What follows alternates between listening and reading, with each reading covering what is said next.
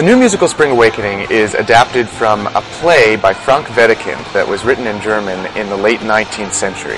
And at the time, it was a very controversial play because it dealt very starkly and very honestly with issues of teenage sexuality, and it touched on a lot of issues that still remain very sensitive today. Issues like abortion, homosexuality, masturbation, rape, sexual abuse. This musical takes that play, which wouldn't seem like a natural candidate for musical theater, and uh, does something I think very special with it. Uh, they've kept the original time frame, so it still takes place among school children in, in rural Germany in the late 19th century, but every time that these characters break out into song, they pull out handheld microphones and they sing in modern rock music. The score was written, in fact, by Duncan Sheik, who's an indie pop singer-songwriter type, so the music doesn't sound like your parents' cast album. And that makes a, a really big difference in terms of the way that the show operates because it doesn't feel old fashioned. It feels very up to date. And it, it, it, it gives it a kind of uh, authenticity in rendering the way that teenagers think about themselves. They've got audience members seated on stage, making it almost like theater in the round, and you're always aware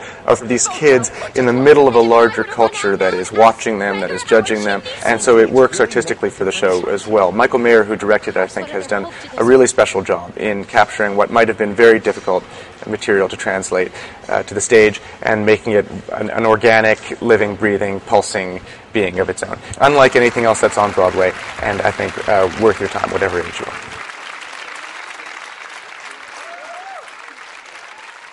To order your own weekly copy of Time Out New York magazine for only $19.97 a year, call 1 929 1112 and always stay one step ahead. Look for Dr. Praeger's Sensible Foods in the frozen food section of your local supermarket. Sensible food never tasted this good.